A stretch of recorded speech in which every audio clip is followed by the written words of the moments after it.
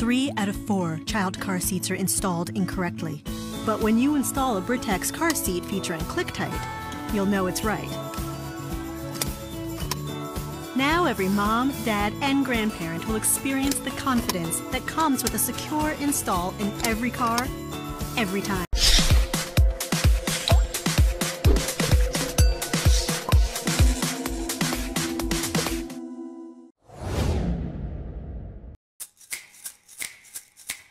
Introducing the Evenflo Triumph LX, a convertible car seat that can support babies from 5 to 40 pounds in rear-facing mode and children from 22 to 65 pounds in forward-facing mode. Voted the number one car seat by a leading consumer magazine, the Triumph LX was designed with both you and your baby in mind. At Evenflo, we recognize that no two children are exactly alike. Our unique infinite slide system allows for quick and easy harness customization and proper fit for your growing child. There is zero need for harness rethreading as you simply slide the harness to create a tailored fit for your child. Tightening your child's harness on the Triumph LX is just a few clicks away with Tension Right. You simply turn the knob, located on either side of the car seat, to automatically tighten the harness on your child, ensuring a proper fit.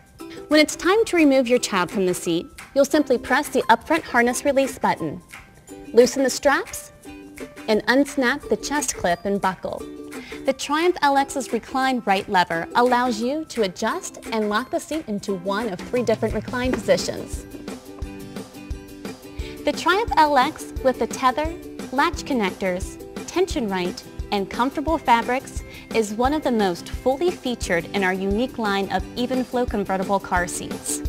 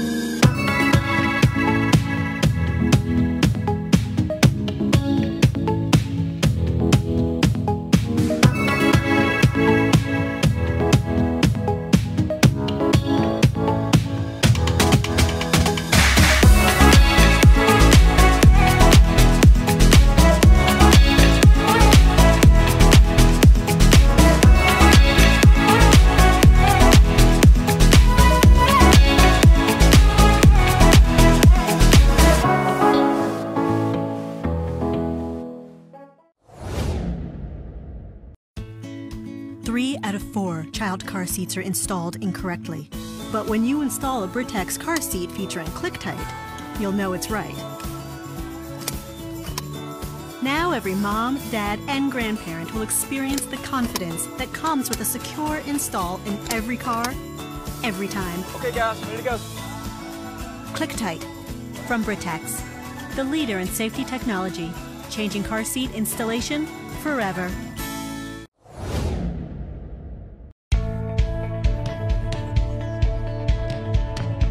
This video is a guide to help make it easier to use your Grow and Go.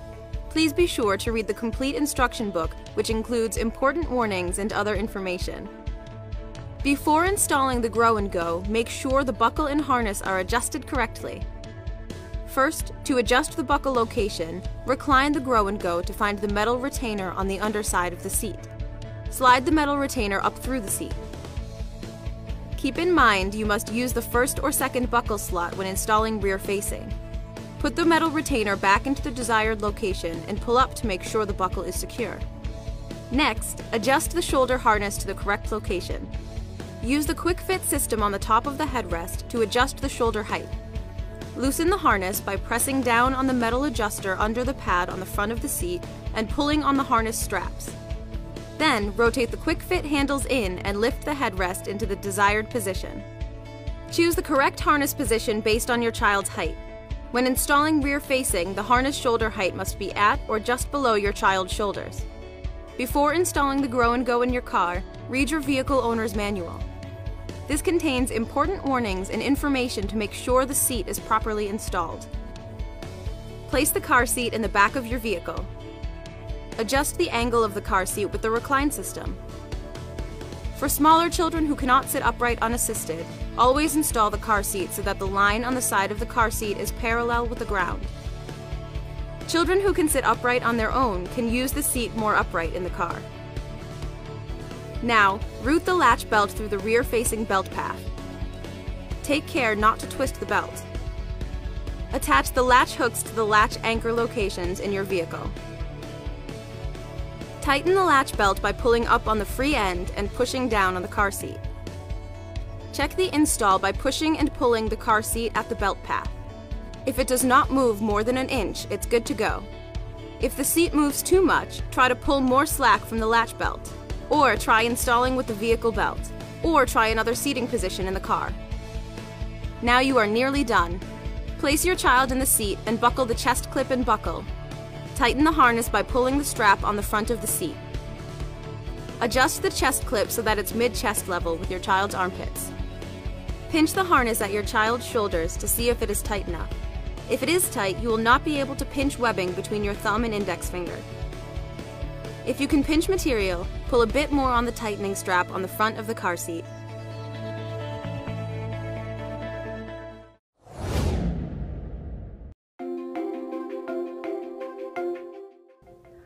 I'm Tamiko from Graco, and I'm going to show you how to remove and replace the car seat cover on the Extend2Fit convertible car seat. The first thing we're going to do is remove your infant head and body support and the harness covers. So what I like to do is actually loosen the harness strap, so just press on the button in the front and pull your harness. Then you can undo your chest clip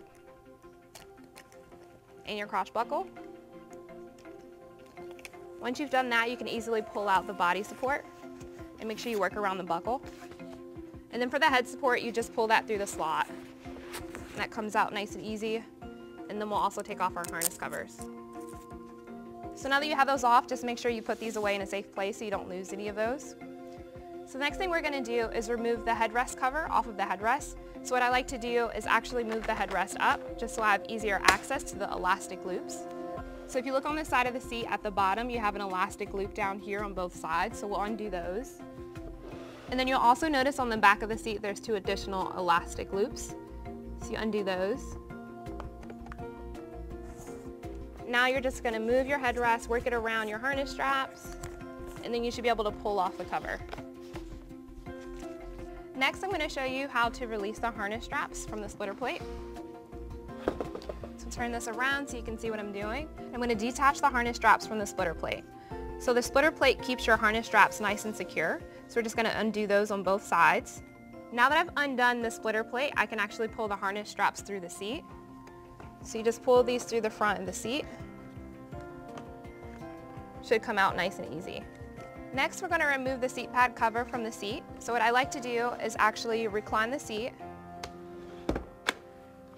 and release the extension panel because what we have here is elastic loops and this is the best way to get to it. So we'll undo those on both sides. Once you have those undone, you can put your extension panel back in and put your seat upright.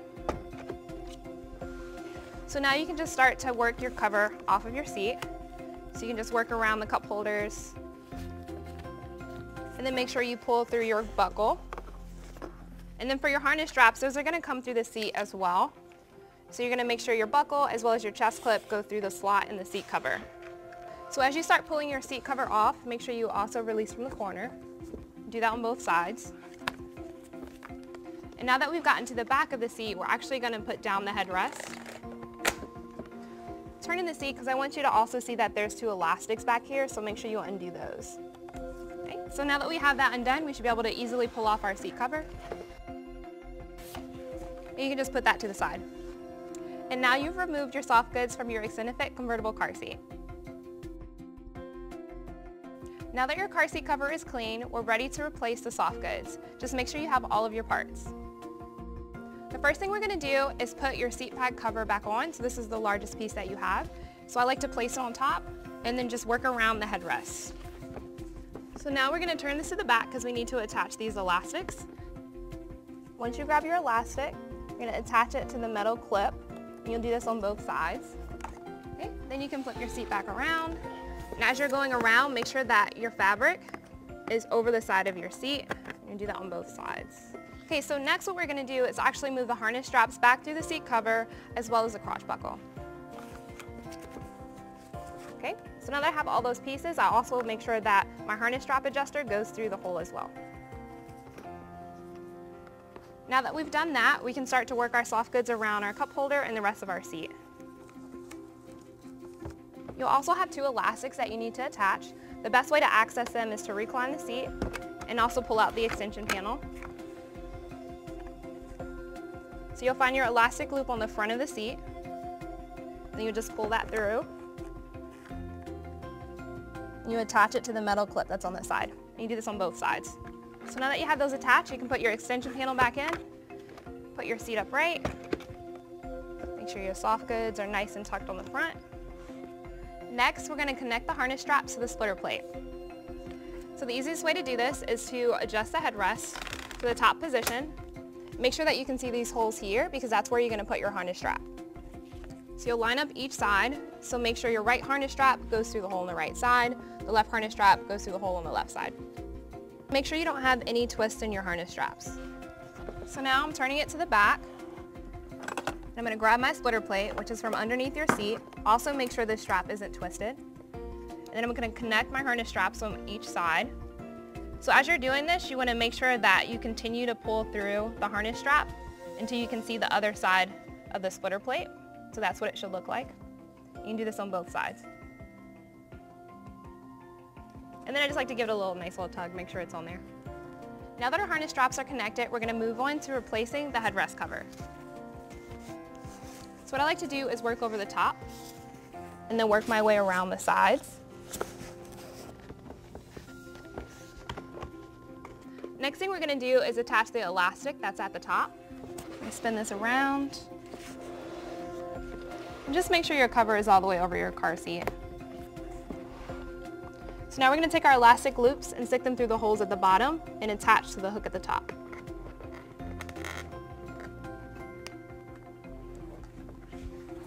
Then we'll turn it to the side because we also have elastic loops here. So you'll pull those and attach to the hook on both sides. Next thing we're going to do is just make sure that our harness straps are in front of the backrest cover. So you'll just move those into the slots that are here, making sure nothing is twisted. So next we're ready to replace our infant head and body support as well as the harness covers. So first we're going to start with the head support. You're going to make sure you just put this through the slot on the headrest, just slide it through. The next thing we're going to do is lower our headrest as you're doing this, just make sure that this backrest flap is in the front. So sometimes what we see is that people put this behind the seat cover and that's not the correct way. You want to make sure that it's in the front. The next thing we're going to do is replace our body support. So make sure your body support, the holes on the bottom, are lined up with the holes that are on the seat pad. And also remember that depending on what position your buckle is in, it's the same position you'll want to use on the support. So this one is in the slot that's closest to the center of the seat. So I'm going to do the same thing on the support. And you can pull your harness strap around the support as well. Next thing you want to do is attach your crotch buckle. And then you can add on your harness covers. Just make sure your hook and loop is on the outside. And then you can fasten your chest clip. And now you can just tighten your harness straps by pulling on the strap in the front of the seat. And now you've replaced your car seat cover on your Extend2Fit convertible car seat.